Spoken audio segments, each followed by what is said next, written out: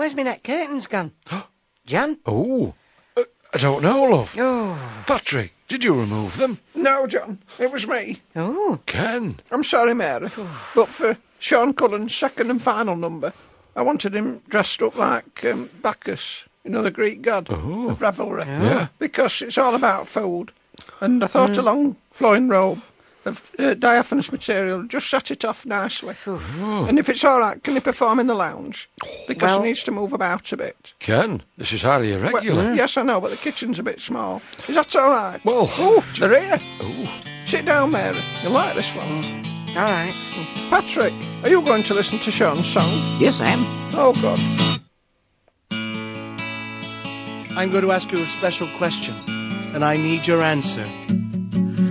For the food of your choice will end your life tonight.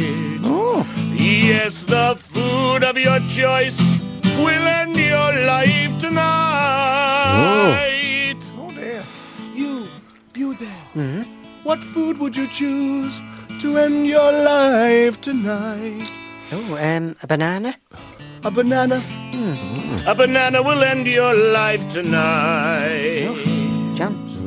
I will take a banana and I will replace the skin with a Teflon polymer that is completely frictionless. And then I will replace the banana fruit meat within the skin and I will sew it up with a microsurgeon's laser.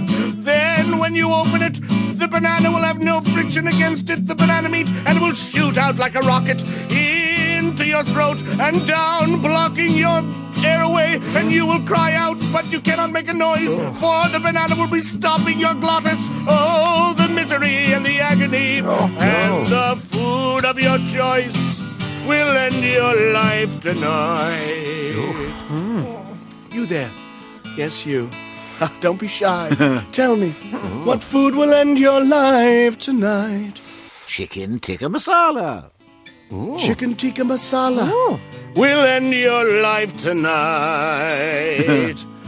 I will take chicken tikka masala and I will replace the chicken pieces with large chunks of Semtex plastic explosives, and then I will run tiny wires away from the Semtex down infinitely small wires so they cannot be seen underneath the tablecloth running away from your table. You will sit down and take a forkful of tikka masala. I will press the detonator and your head will blow apart. Oh. And the food of your oh. choice will end your life tonight. I don't think so. No. no. Take no notice, Patrick.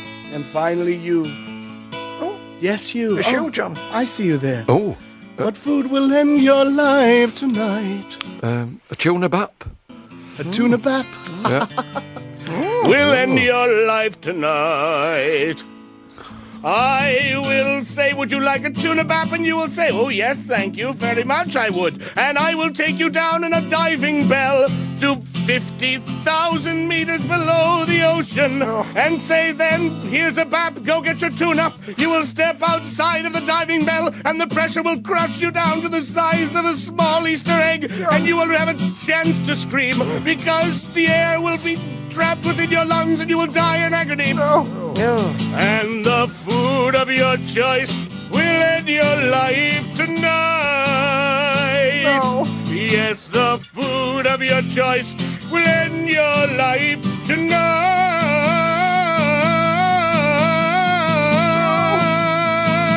Food of choice. No! Leave me alone! Ken! Oh dear. Right. I'm off to see the grumbleweeds. See you later. Uh, yeah, bye, love. Yeah. Good night, Mary. Bye, Patrick. Lovely to meet you. I think you'd better go now, Seán. Okay. I'm sure Ken will be in touch in due course. Thanks very much. Bye, John. Bye bye, Seán. Goodbye, Patrick. Good night. He's a lunatic. I don't think so. He is, Patrick. He's completely mad. Oh, uh, that reminds me. I have an important phone call to make for the next item. Uh, you maintain the vigil, and I'll see you in a minute.